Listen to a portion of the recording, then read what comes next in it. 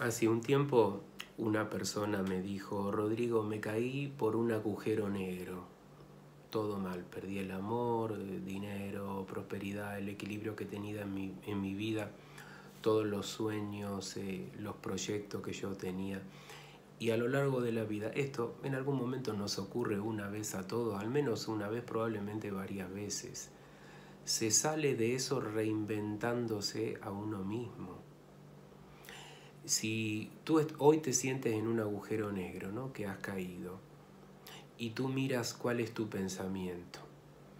Este pensamiento, o sea, todo lo que está en tu mente a lo largo del día, la culpa, el enojo, la tristeza, todas las emociones, todas las historias mentales que, que tú construyes, te vas a dar cuenta que todo eso es un sistema que funciona en bucle.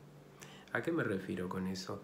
que tú en este momento te sientes mal y sientes que, has caído en un pozo negro y no puedes salir. Entonces eso es, eso que estás pensando genera determinadas emociones negativas, tristeza, eh, deseo de llorar. Eso genera eh, culpa. Eso te lleva a la depresión. Eso se transmite a la energía.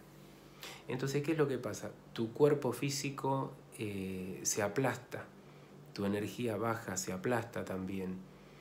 Y, y esto, todas estas emociones negativas van a generar más pensamiento negativo. Y el pensamiento negativo otra vez va a generar emociones negativas, estados de la mente. Tú te vas a sentir mal. Va a haber pensamientos tristes, de enojo, depresión. Entonces esto se lo vas a transmitir a tu cuerpo físico.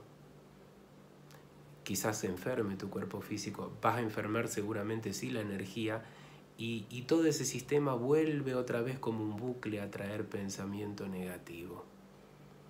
Entonces, ¿cómo se corta todo el circuito? Se, se corta en la mente. Se corta en la mente.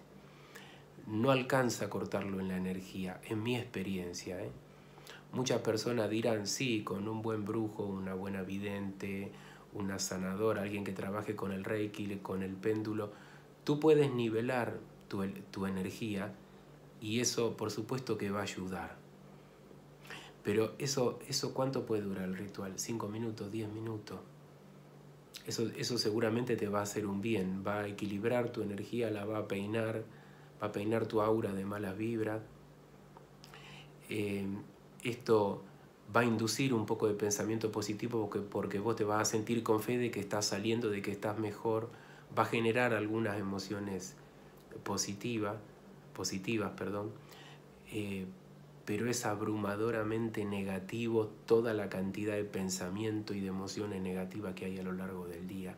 Entonces este intento se ahoga. Entonces este intento por sanar debe ser acompañado por procesos de sanación mental, no solo a nivel energético, mental, a través de visualizaciones o de meditaciones, para que esto pueda ser efectivo. Ese es mi punto de vista. No hago videos largos porque estoy de viaje y la señal de internet no es eh, muy buena, así que ahora eh, continúo en otro video.